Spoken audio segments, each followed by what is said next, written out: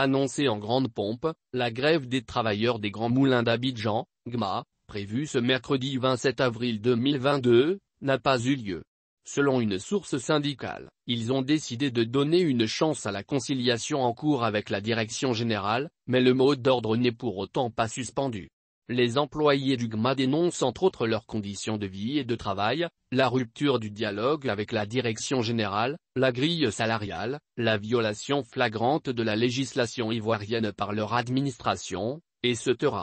Face à toutes ces revendications, les mécontents ont annoncé un arrêt de travail sur les sites d'Abidjan et de San Pedro pour d'une durée de 5, 05 jours à compter du mercredi 27 avril 2022 avant de l'annuler, disent-ils pour donner une chance aux négociations entamées avec la hiérarchie.